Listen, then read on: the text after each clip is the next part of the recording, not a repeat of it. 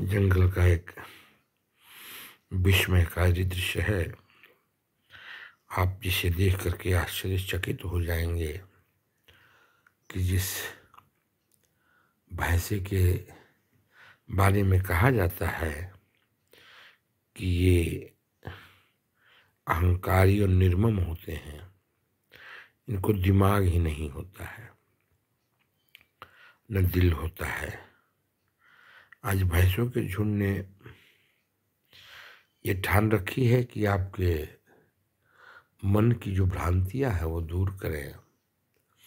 और भैंसों के झुंड ने शेरों के झुंड को घेर करके खड़ा करके रखा है। शेर एक हाथी के बच्चे की हत्या करना चाहते हैं और भैंसा कहता है, ऐसा हम नहीं करने देंगे। उसने अपने कुछ दोस्तों को भेजा भी है हाथियों के झुंड के पास। कहा कि जाओ देखो, उनको बुला लाओ। और हाथी चल पड़े हैं।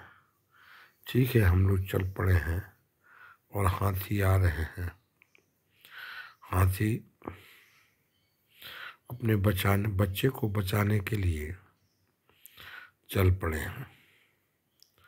कल्पना कर सकते हैं